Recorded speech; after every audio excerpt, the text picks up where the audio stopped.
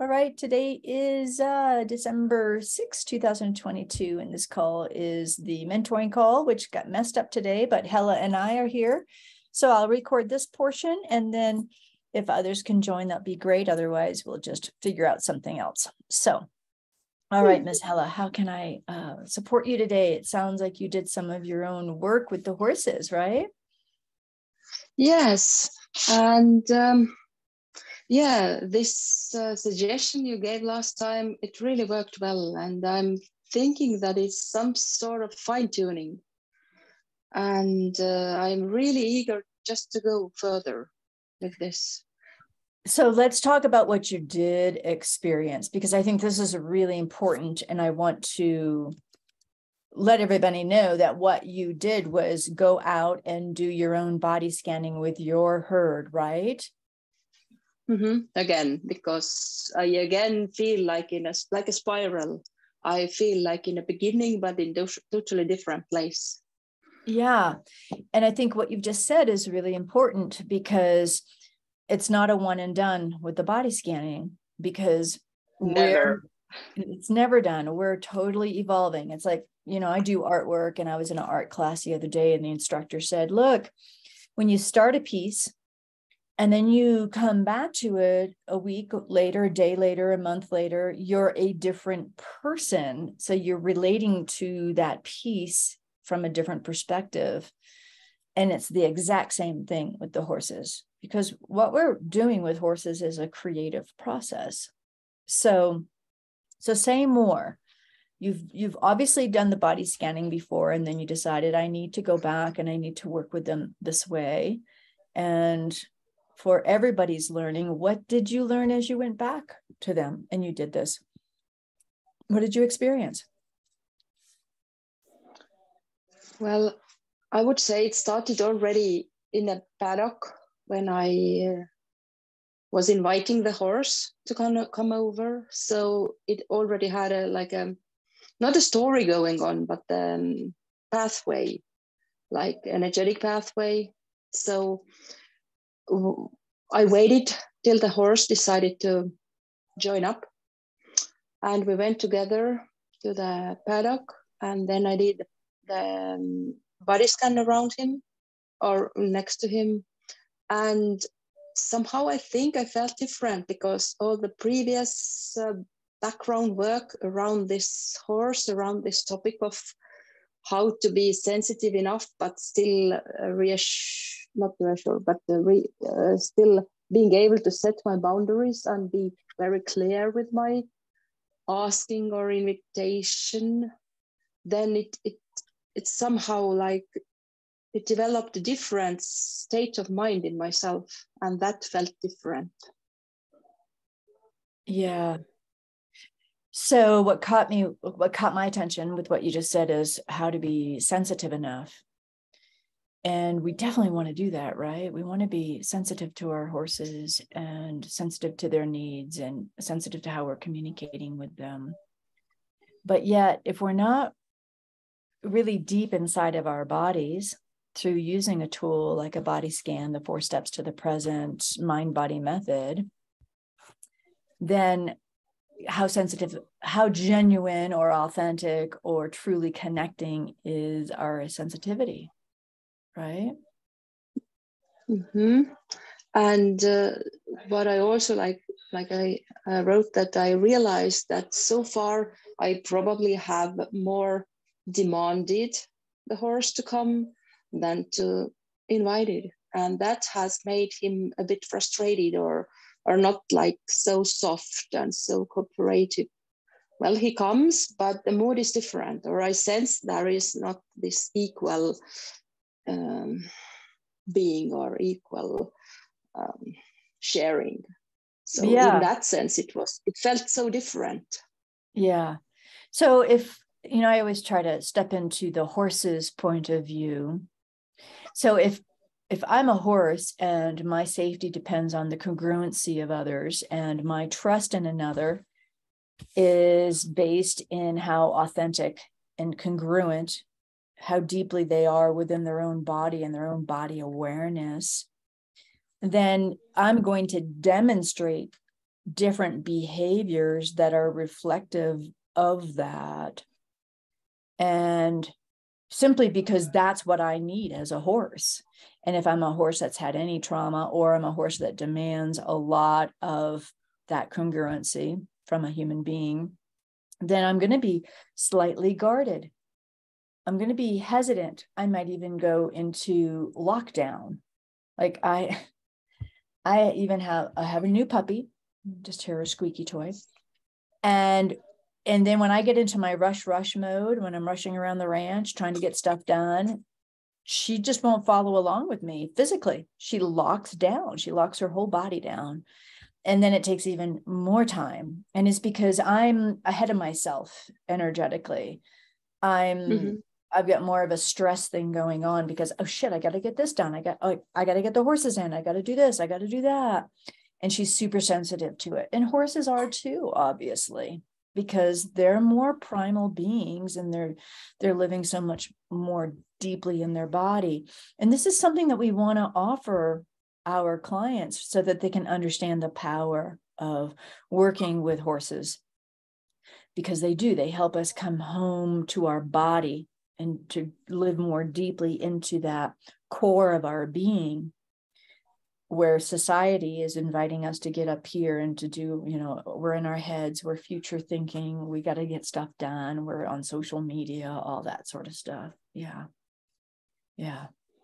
Yeah. So tell me what you saw differently in the horse as you did this piece with him. I'm, I'm hearing that he was different but can you give specifics? Body language mm-hmm. or gestures or eye contact or softening or? Um, it was it was listening i would say. Listening and being present. What being, what did you see in him though? So that others can learn. What did you see that mm-hmm. told you he was listening? He was really close by. Um, he was breathing together with me. Mm. And, um, or at least it felt so. And uh, the shared space was like bodily felt, I would say. At least from my side. Yeah. So it was the strong bubble and uh, afterwards it was I, I, just played with him like um, without any specific tasks. And i previously had also worked with him. And this time afterwards it was like he was dancing along not uh, fulfilling my demand. So it in in that sense it was like cooperation like in a different uh, previously it was also cooperation but i think this experience somehow gave me the understanding that i knew cognitively how sensitive they are but i truly underestimated that because now i felt it bodily yeah. because they are so much more sensitive than i expected yeah and in so, yeah in that sense one. i think it's fine tuning yeah. And deepening is what I'm hearing. Mm-hmm. Deepening and yeah. deepening into this energetic relationship and understanding each other more from the energy in the heart and the body than from the mental place. And it was so easy not, uh, to, to, to, to na- label him like as a stubborn horse. Not a stubborn, but extremely sensitive to my own uh, not so sensitive steps towards him. So yeah, I see him much better. like there is more clarity. And I think, you know, when we started to work together, I'm not sure if you could have gotten to this place at that time, even being vulnerable to this degree. Um, no, no, definitely not and in that sense all sort of eh, like the, the other classes like the energy work and these kind of things they all have deepened. So it should be included. I would strongly recommend. Well yeah. it, it is. It's just how far people take it. Mm-hmm. so yeah because it's it's the same work but it's uh, yeah it's a work on me. Horse knows how to be a horse but uh, all the work must be done on on myself. Yeah. Yeah, yeah. exactly. And uh i think that we don't know how deep we can go until we start to go deep.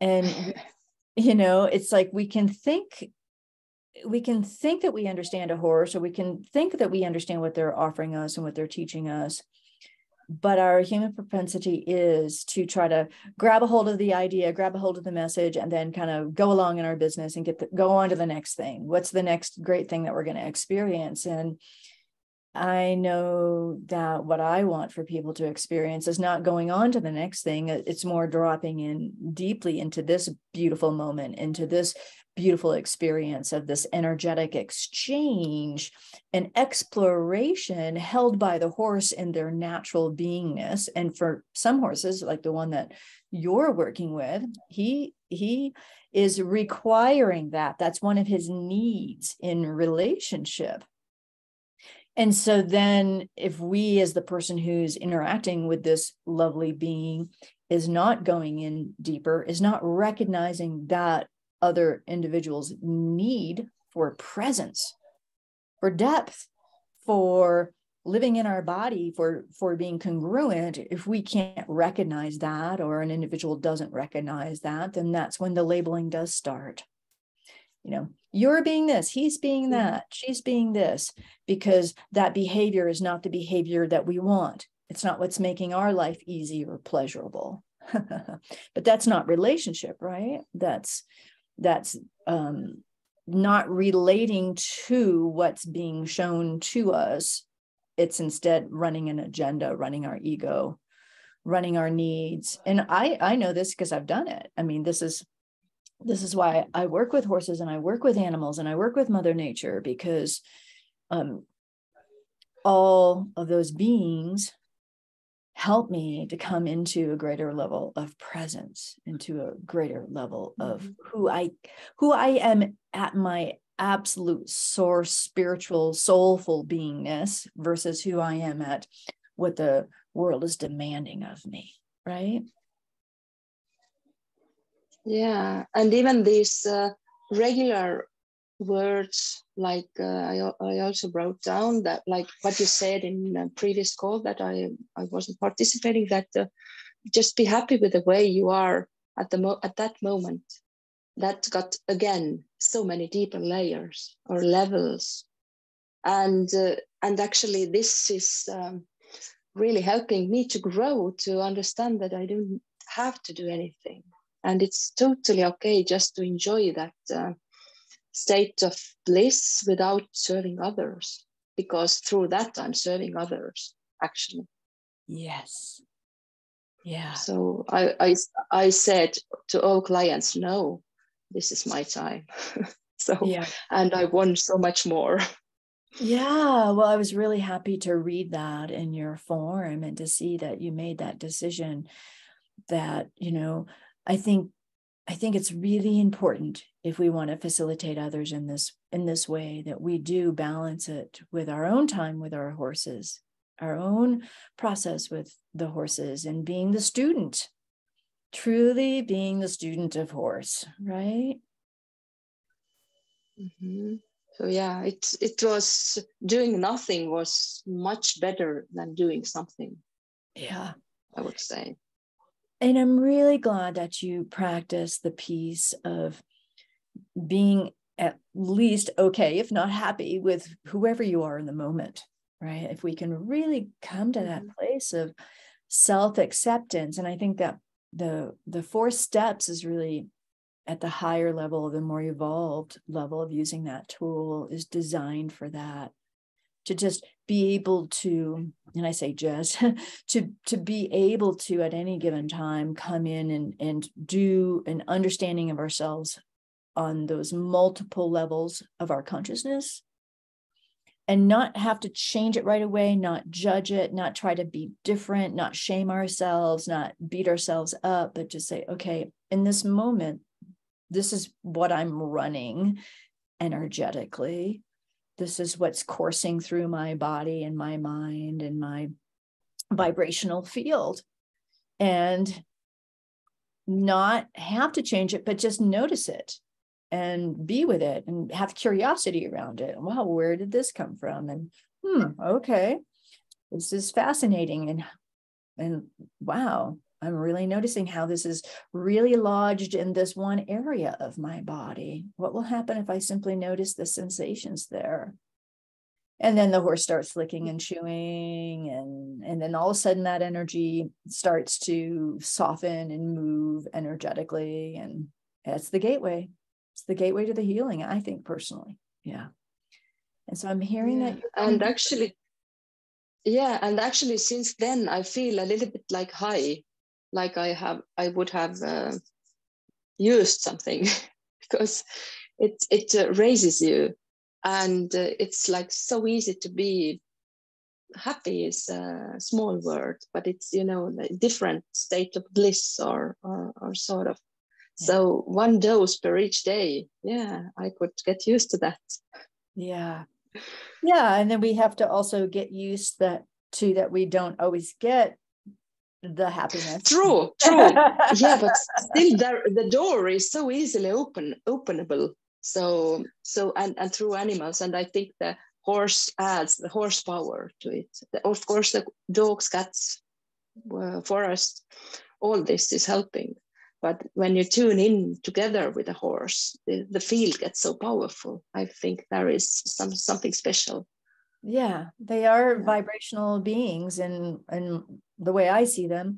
Like many of the the animals in the the wild kingdom they are vibrational beings and so are our cats and our dogs. I think our cats and our dogs were so conditioned on how to be with them and how they're supposed to be with us that they can open us up also in different ways. And they everybody is our teacher are we going to allow them to be our teacher or are we going to dominate?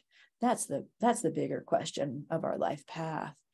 But yeah i'm with you. The horses are just they're really special in this way. And because they are animals that are preyed upon versus our cats and dogs are animals that prey on they have a different perspective. They have a different way of being in the world and sensing the world and um, interpreting and being connected in a different way. Yeah, it's that spacious energy, don't mm-hmm. you think? Yeah.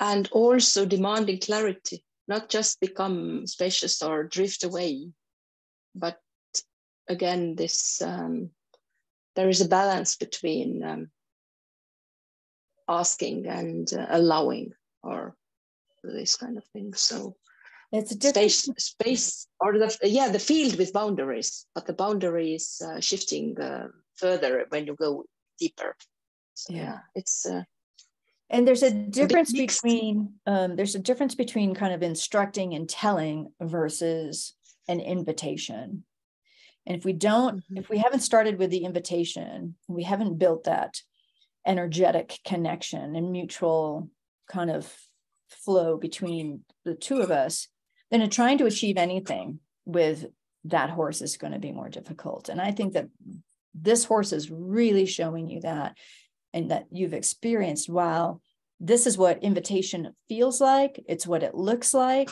the doorway opened as you said in your form right Mm-hmm. Yeah. And so, if I try to remember, I think it all started uh, uh, with the last uh, mind body course lesson. Yeah, yeah, yeah. Yeah. Because some sort of thing opened up and it, it's like a process that is still ongoing, which yeah. is so nice and great. yeah. That's wonderful. And yeah, you got to experience the power of that process and what happens mm-hmm. energetically in it and it was it's shifting you it's shifting something within mm-hmm. you and it's beautiful. Well, thank you, Hele This is really an, a nice dialogue that we've had. And I, I want to say how much of a pleasure it's been to work with you. And you just go out there and you apply and you're earnest and you're self reflective and you're sincere and you want to do the best for others. And it's just, you are blossoming into this beautiful facilitator and it's it's just really evident so thank you. Yeah, thanks to you. So yeah, it's shared experience, I would say, totally. Good. Yeah. Good.